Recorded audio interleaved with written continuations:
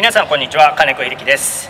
今日はですね、えー、チャンスボールを、えー、仕留めるですね高い打点について、えー、詳しく説明をしていきたいと思います。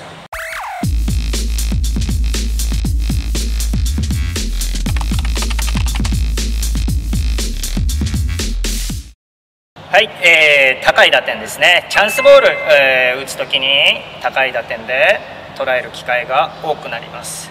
ただこの高い打点の、えー、解釈理解によってですねかなりその効果っていうのが、えー、変わってくるので、えー、それを、えどどこが高い打点なのかっていうのを、え今日、え皆さんにお伝えしたいと思います。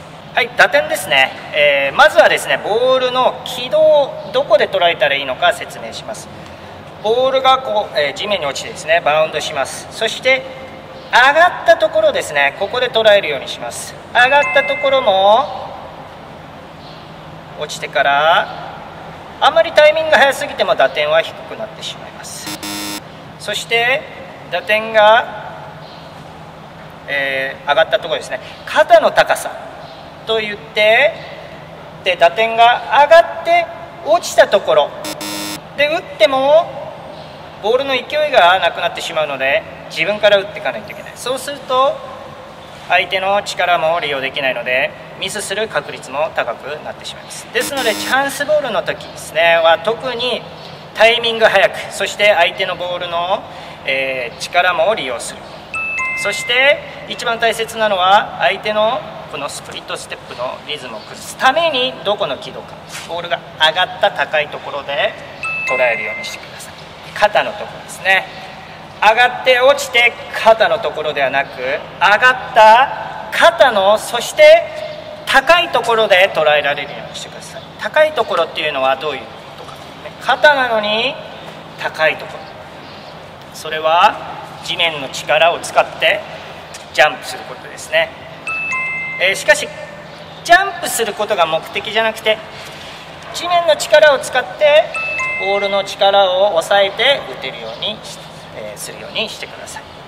では実際に打ってみたいと思います、えー、今日一緒に、えやる松下コーチそしてオツコーチです。よろしくお願いします。よろしくお願いします。はいでは行きましょう。では高い打点で自分から打っていかないといけないのでこれは手出しではなくまあもう、えー、球出しからいきます。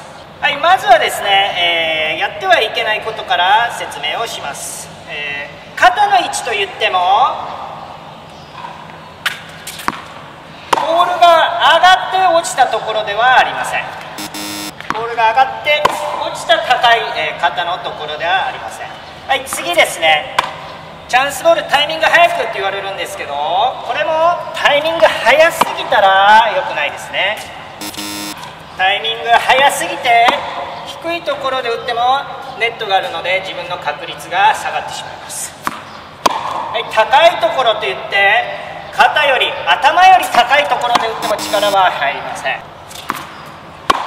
そしてではどこで打たないといけないのか。肩の位置。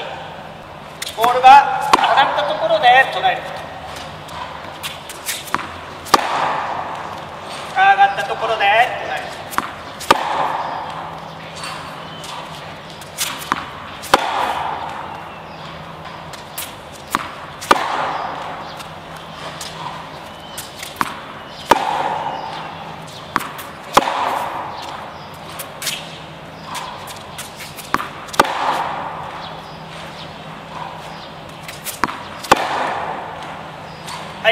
肩の位置そして高いところなので地面の力を使ってジャンプを、えして打ちます。ジャンプもジャンプする目的じゃなくて地面の力を伝えるのが目的で、はい、そしてですね高い球は自然とアウトサイドインに入りやすいのでこれをクロスに持っていくっていうのは結構意識してウィンドミル使ったりもう少し早くタイミングを取ってえー、打点前でですね打ってみたりもしくは高い打点なのでアウトサイドインから入る。シュート回転しても、えー、それを込みでクロスコートを打つ。どちらかですね。ですので高い打点はやはりダウンザラインもしくは逆クロスの方が打ちやすいです。ですのでチャンスボールはですねできるだけミスの確率を減らすためにもダウンザラインもしくは逆クロスに打つ。そして戦術的もちろんですねクロスに打つこともありです。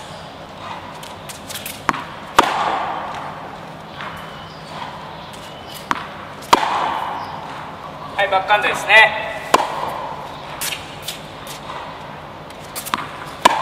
これも一緒です。ボールの上がったところで捉えられるようにします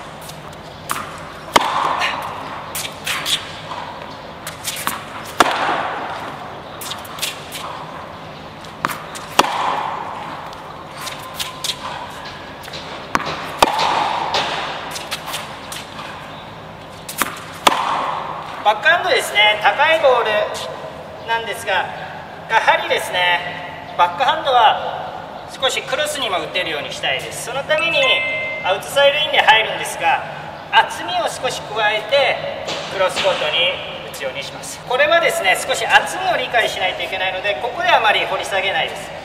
ただバックハンドやはり特にですね相手のバックハンドに打てるようにしないといけないのでクロスにも打てるようにしておいてください。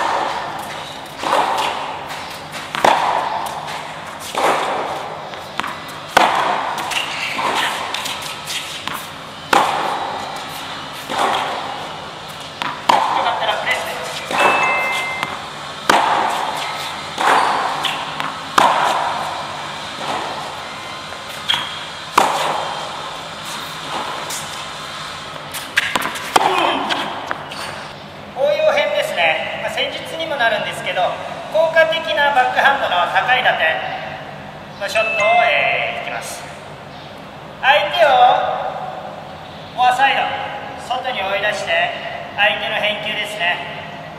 バックに高いところを打とうとしたのが浅くなった。それをある程度予測して高い打点で捉えます。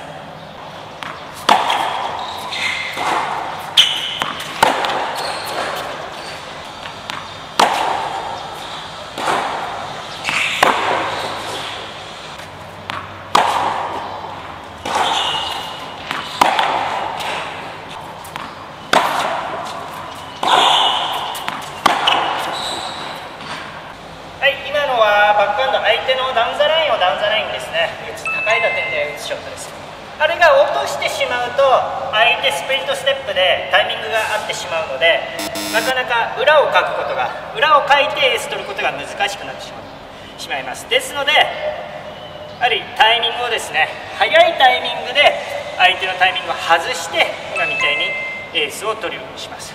もちろん今のだけでも相手はダウンザラインを警戒してしまうのでちゃんとしたクロスコートを打ててのダウンザラインになります。以上ですね。今日は高い打点について取り組みました。